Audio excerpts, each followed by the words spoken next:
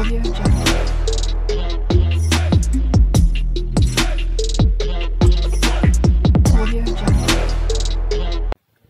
Hi friends welcome to my channel ఈరోజు వీడియోలో పోలేలు ఎలా ప్రిపేర్ చేయాలో చూపిస్తున్నాను. ముందుగా ఒక బేసిన్లో ఒక కప్పు గోధుమ పిండి ఒక కప్పు మైదా పిండి తీసేసుకోవాలి. ఇప్పుడు ఇందులో చిటికెడు ఉప్పు టూ టీ స్పూన్స్ ఆయిల్ పోసి ఒకసారి అంతా మంచిగా కలిపేసేయాలి. ఇట్లా అంతా మంచిగా కలిపేసినాక నీళ్ళు పోసుకుంటా పిండి ముద్ద రెడీ చేసేసాలి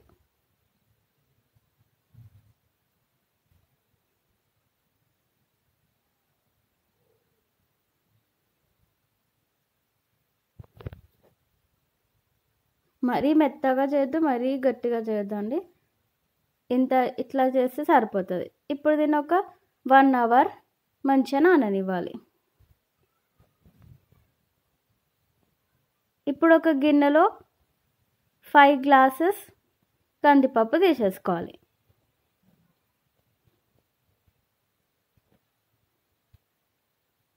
ఇప్పుడు ఈ కందిపప్పుని మంచిగా కడిగేసాలి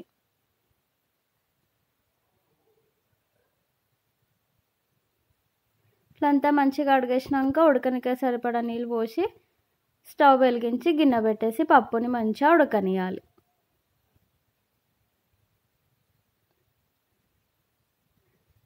ఇప్పుడు ఒక ప్లేట్లో టూ టీ స్పూన్స్ సోంపు టెన్ ఇలాచీలు తీసి పక్కన పెట్టేసుకోవాలి.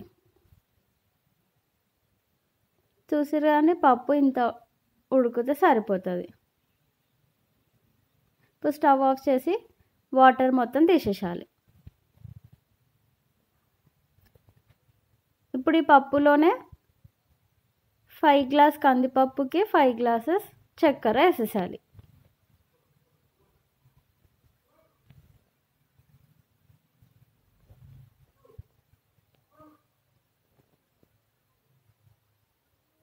ఇప్పుడు ఒక మిక్సీ జార్లో ఇంతకుముందు సోంపు ఇలాచీ తీసుకున్నాం కదండి. అది గ్రైండ్ చేసి ఇట్లా పౌడర్ లాగా చేసి పప్పులో వేసేసాలి. వేసేసి ఒకసారి అంతా మంచిగా కలిపేసాలి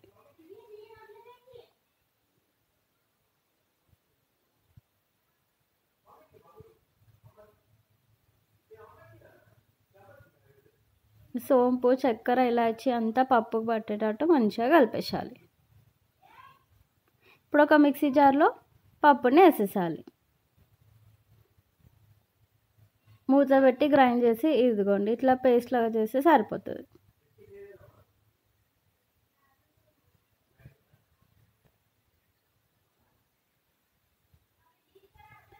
మళ్ళీ గ్రైండ్ చేసుకున్న పేస్ట్ని ఒకసారి మళ్ళీ స్టవ్ పైన పెట్టి ఒక టెన్ మినిట్స్ ఉడకబెట్టేసాలి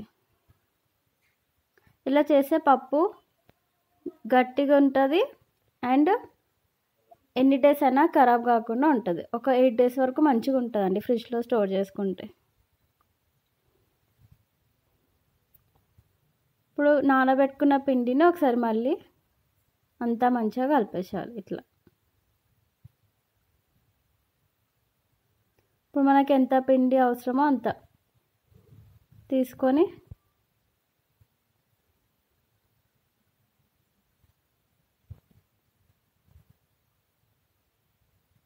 ఇదిగోండి ఇలా చేసేసాలి ఆయిల్ పెట్టుకుంటా.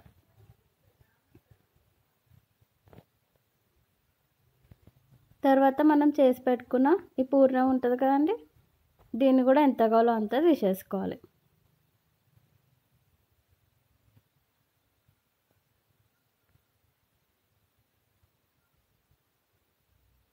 తీసేసుకొని పిండిలో పెట్టి మొత్తం పిండితో కవర్ చేసేసారు పూర్ణం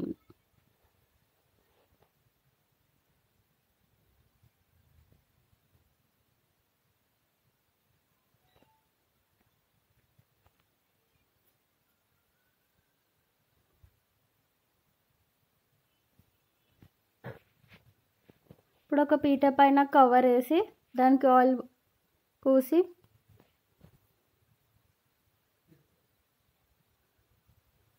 పిండిని మనకి ఎంత సైజులో కావాలో అంత చేసేసుకోవాలి.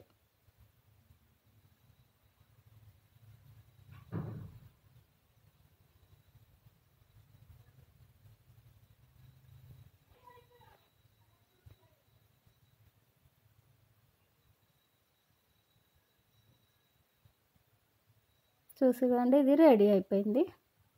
ఇప్పుడు స్టవ్ వెలిగించి ప్యాన్ పెట్టేసి కొంచెం ఆయిల్ పోసేసాలి